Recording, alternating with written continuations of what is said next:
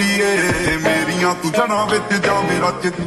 ਕਰ ਮੇਰੇ ਮਸਲੇ ਦਾ ਹੱਲ ਬੱਲੀਏ ਚੰਦ ਦੀਆਂ ਰੇਸ਼ਮਾਂ ਨੂੰ ਹੱਥ ਪਾ ਗਈ। ਹੱਥ ਤੇਰੀ ਲੋਕਾਂ ਤੇ ਕਹਿ ਕਹਿਰਦੀ